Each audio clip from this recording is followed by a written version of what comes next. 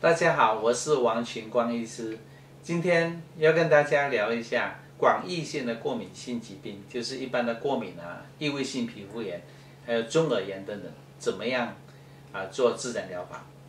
大家都知道，如果你去看这个西医的话，他大概就会开抗组织胺类固醇给你。其实哈，抗组织胺类固醇它只是有一个压制的作用而已，它并不能让你痊愈，它。压制久了呢，可能要一直吃药吃药，最后没有吃的时候会反弹。那么我们做自然疗法是怎么样治疗这个过敏性疾病的呢？其实哈，我们就有三个重点。第一个重点就是要帮你抽血找出你的过敏源，看你身体里面有什么抗体。第二点呢，就是你自己回家你要避开这些过敏源。第三点就是我们要帮你修补这个肠肺漏症。引起发炎的过敏原物质是怎么样进入人体的呢？其实哈，不是经过呼吸道，就是肠胃道。我们一天要吃两公斤的食物，其实食物里面含有很多大的蛋白质，大的蛋白质就是过敏原，它是不被允许进到血液里面去的。蛋白质一定要变成小分子的氨基酸，才能够进到身体里面。人一天要吸十三点六公斤的空气。空气里边也是有很多蛋白质，比方说螨啊、猫毛、狗毛的这个蛋白质，也是不被允许进到细胞里面去的。所以说，会有过敏的人一定是有肠漏或者是肺漏症。也就是说，过敏原哈是不被允许进到细胞里面去的。如果你有肠漏、肺漏呢，过敏源进到细胞里面去，它就是会引起过敏。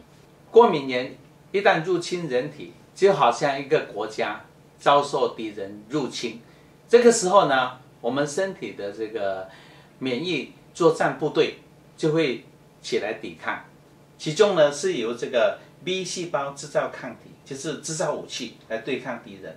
这些武器呢就分成五种，其中最重要的就是 IgG，主管慢性过敏；IgE 主管急性过敏。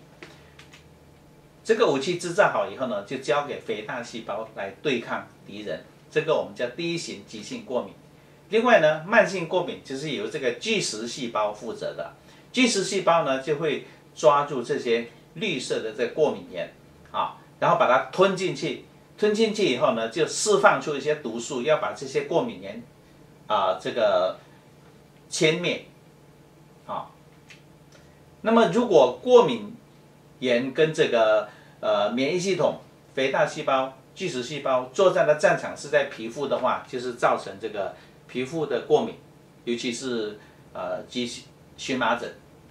如果作战的地点是在眼睛的话，就造成眼睛的结膜炎。如果在肺脏的话呢，气管的话，可能就是造成气喘。如果在这个鼻窦的话，就算是鼻窦炎。如果是在鼻子的话，就造成慢性鼻炎，或者长了最后鼻息肉。如果是在这个欧式管，这个是中耳欧式管发炎的话呢，最后可能就会造成这个中耳炎。接下来我们跟大家介绍一下我们治疗过的很多个案里面的一部分。像这个患者，他很快就好起来了。为什么能够这么快几天就好起来呢？因为我们跟他抽血，发现他只是对猫毛跟螨过敏而已。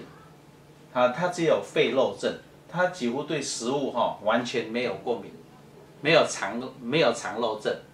那么我们就叫他不要跟猫一起睡，还有要做一些防螨的设施。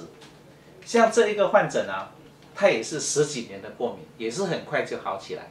那因为我们跟他抽血，发现他只有肠漏症，他就是对牛奶、蛋、凤梨过敏而已，不能吃。那不吃凤梨。不喝牛奶，不吃蛋，也就好起来。像这一位患者呢，他是被诊断化脓性肝血自体免疫疾病，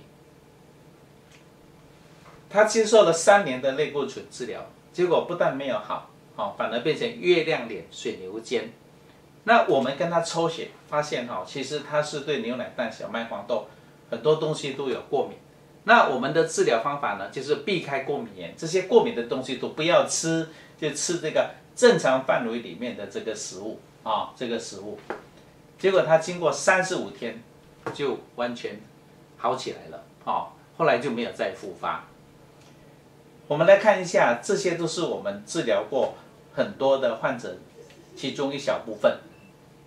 这个是异位性皮肤炎，这个也是异位性皮肤炎，啊，这个也是很严重的异位性皮肤炎，啊，这个是汗疱疹，啊，经过治疗半年多也都好起来了。我们是怎样用自然疗法来治疗过敏性疾病的呢？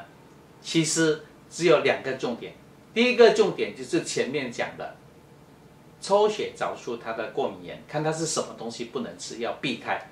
第二点呢，就是说。要吃这个 omega 三六九的好油，每公斤体重要最少最少要吃到一 cc，这个好油呢就可以把这个肠漏症哦修补好，修补好以后呢过敏就会好起来。谢谢大家收看。